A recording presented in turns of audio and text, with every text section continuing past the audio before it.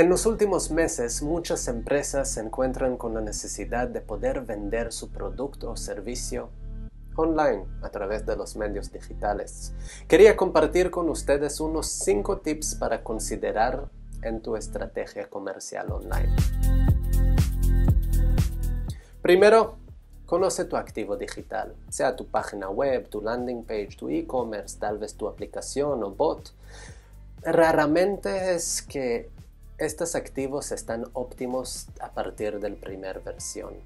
Realmente un activo digital tiene que pasar por optimizaciones, optimizaciones de estructura, de textos, de llamadas a la acción, de funcionalidad, de experiencia de usuario, de cómo es el proceso de compra y cuál barreras tenemos ahí. Utiliza herramientas como Hotjar o como SmartLook para poder analizar qué tal la experiencia, qué realmente están haciendo nuestros clientes dentro de la página. Por ver su recorrido dentro de la página, te va a ocurrir muchas ideas que puede ser mejorado. Segundo aspecto, reduzca las barreras, reduzca el fricción de compra. La mayoría de los carritos de compras se quedan abandonados. Si tú tienes una experiencia optimizada, como lo que mencioné en punto 1, menos personas van a perder las ganas de comprar tu producto a través de una experiencia mm, medio chueca. Tercer punto, conoce tu cliente. Tan obvio, pero muchas veces estamos mirando nuestro cliente desde nuestro propio ojos, desde nuestra propia necesidad. Y cada cliente tiene diferentes perfiles, diferentes necesidades y diferentes momentos en cual se encuentra con tu producto.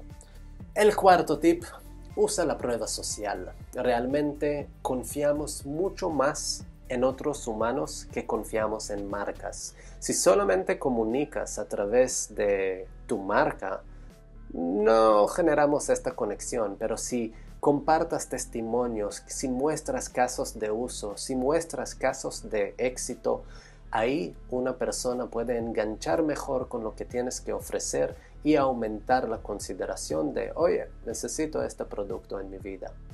El quinto tip, y uno de los más importantes en las redes sociales, son las campañas empíricas, campañas de prueba y error de ver diferentes mensajes con diferentes públicos y ver cómo están generando match.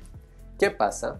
Es que muchas veces no sabemos qué mensaje y qué público son ellos que van a estar animados en comprar nuestro producto. Por eso necesitamos optimizar mes a mes a mes.